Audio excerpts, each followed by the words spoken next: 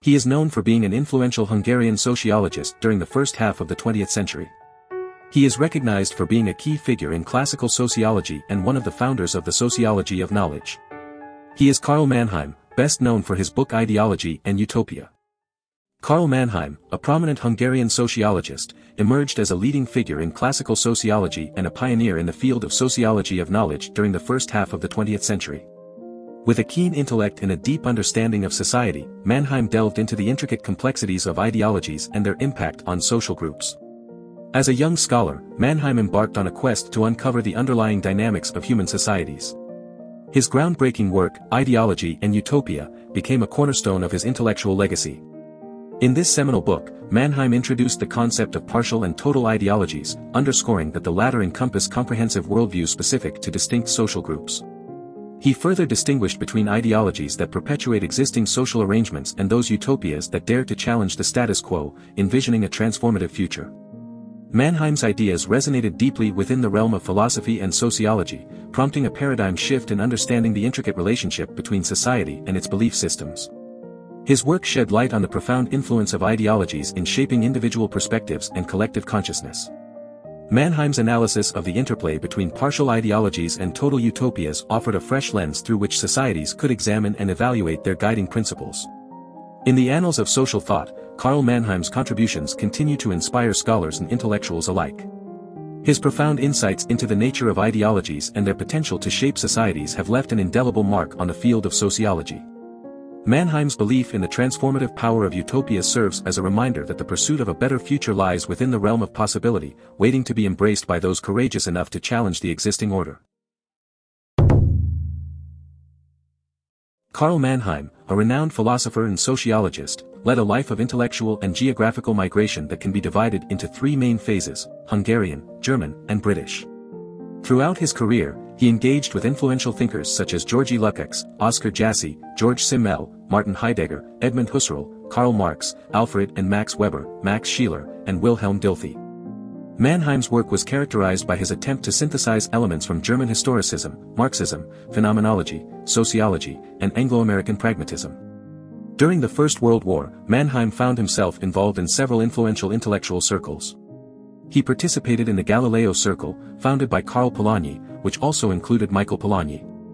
He also joined the Social Science Association organized by Oscar Jassy in the Sonntagskreis, or Sunday Circle, led by Georgy Lukács.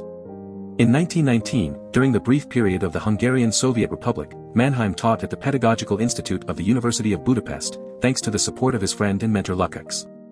However, Mannheim did not share Lukács' political conversion to communism, and both were eventually forced into exile after the rise of Horthy as regent of Hungary. Mannheim chose exile in Germany and resided there from 1920 to 1933. In Germany, Mannheim faced challenges in his academic career. He attempted to secure a sponsor to teach philosophy in Heidelberg but was unsuccessful. Nonetheless, in 1924, he began working under the guidance of German sociologist Alfred Weber, Max Weber's brother, and Emil Lederer. In 1926, Mannheim's habilitation, a qualification necessary to teach sociology at Heidelberg, was accepted by the Faculty of Social Sciences. He was ultimately chosen for a prestigious professorship in sociology over other competitors, including Walter Benjamin. From 1929 to 1933, he served as a professor of sociology and political economy at the Johann Wolfgang Goethe University Frankfurt am Main. Notable figures such as Norbert Elias and Hans Gerth worked as his assistants during this time. However, Mannheim's career took a drastic turn in 1933 when he was ousted from his professorship due to the anti-Semitic laws implemented by the Nazi regime. Forced to flee Germany, he sought refuge in Britain and became a lecturer in sociology at the London School of Economics. In 1941, he was invited by Sir Fred Clarke, the director of the Institute of Education at the University of London, to teach sociology on a part-time basis. Mannheim's role at LSE declined due to wartime conditions, but he was appointed as the first sociology professor at the Institute of Education in January 1946, a position he held until his death in London a year later. Throughout his time in England, Mannheim played a significant role in various intellectual circles. He was actively involved in The Moot, a Christian discussion group that included renowned poet T.S. Eliot. This group focused on the role of religion and culture in society and was convened by J. H. Oldham. Additionally, Mannheim's editorship of the extensive Routledge series on social sciences further solidified his position of influence. Karl Mannheim's intellectual journey, marked by his migration from Hungary to Germany and finally to Britain, was shaped by his interactions with prominent thinkers and his attempt to synthesize various philosophical and sociological perspectives. His work continues to be relevant and insightful, offering valuable insights into understanding society and culture in our daily lives. In the autumn of 1915, Karl Mannheim found himself in the vibrant intellectual circles of Budapest. As the youngest founding member of the Sonntagskreis, alongside notable thinkers such as Bela Balázs and Georgi Lukács, Mannheim engaged in discussions on a wide range of literary and philosophical topics. The group delved into the works of German diagnosticians, the novels of Fyodor Dostoevsky, and the writings of Soren Kierkegaard and the German mystics. The Sonntagskreis had a distinct vision. They rejected any positivist or mechanist understanding of society and were dissatisfied with the existing political arrangements in Hungary. Instead, they believed that the way forward lay in a spiritual renewal that would bring about a revolution in culture. They sought to change Hungary through a profound transformation led by individuals who had attained a significant level of cultural awareness. Interestingly, while the Sonntagskreis rejected a materialist Marxist critique of society, they did not exclude Marxist themes from their discussions. Karl Mannheim, influenced by Georgi Lukács' Marxist interests, recognized Marx as the forerunner to the sociology of knowledge. This fusion of ideas and influences shaped Mannheim's Hungarian writings, including his doctoral dissertation, Structural Analysis of Epistemology, which foreshadowed his lifelong quest for synthesis between different intellectual currents. Karl Mannheim, a prominent sociologist and philosopher, embarked on a journey during his time in Germany to delve into the roots of culture. It was during this period that he transitioned from philosophy to sociology, seeking to understand the relationship between society and knowledge. In his doctoral dissertation, titled Structural Epistemology of Knowledge, Mannheim explored the structure of epistemology and the intricate connections between the knower, the known, and the to be known.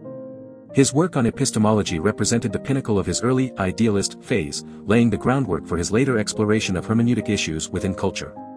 In one of his essays, Mannheim introduced the hermeneutic problem of the relationship between the whole and the parts.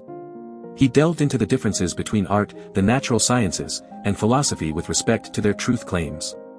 Mannheim argued that while science constantly seeks to disprove theories, art can coexist within multiple worldviews, and philosophy falls somewhere in between. He also highlighted the danger of relativism, emphasizing that if knowledge is perceived as relative to a specific historical period, it may become inaccessible to future generations. However, Mannheim's ambitious sociological analysis of the structures of knowledge was met with suspicion by Marxists and neo-Marxists, who saw the rising popularity of the sociology of knowledge as a betrayal of Marxist inspiration. This led to heated debates between Mannheim and scholars like Horkheimer within academic forums. Despite the contest between Mannheim and Horkheimer, other sociologists, such as Hans Freyer and Leopold von Wiese, also posed significant challenges to Mannheim's ideas. Mannheim's theory on the sociology of knowledge drew inspiration from Immanuel Kant's epistemological discoveries. He believed that knowledge was dependent on social reality, a concept rooted in Marx's theories on social classes. Mannheim's central question revolved around the relationship between society and knowledge, seeking to understand the historical nature and unity of mind and life. He argued that the sociology of knowledge provided an extrinsic interpretation of thought products, separate from the immanent interpretation based solely on intellectual content. Furthermore, Mannheim emphasized the role of the intelligentsia and their connection to ideology and utopias. He described the utopian mentality as a key aspect of his analysis, highlighting four ideal types. Mannheim's work expanded the concept of ideology, recognizing that everyone's beliefs, including those of social scientists, were products of their social context. He cautioned against the determinants of knowledge, such as social class, location, and generation, leading to relativism but proposed relationism as a countermeasure. Mannheim's exploration of the sociology of knowledge remains influential and insightful today, offering valuable insights into the relationship between society and knowledge. His ideas prompt us to critically examine the foundations of our beliefs and understand the social context in which they are formed. By recognizing the potential biases and limitations of our knowledge, we can strive for a more nuanced understanding of the world and foster dialogue and cooperation across diverse perspectives.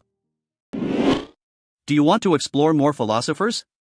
Who do you want to see featured next? Subscribe and leave a comment below to let me know. I'll see you in the next video.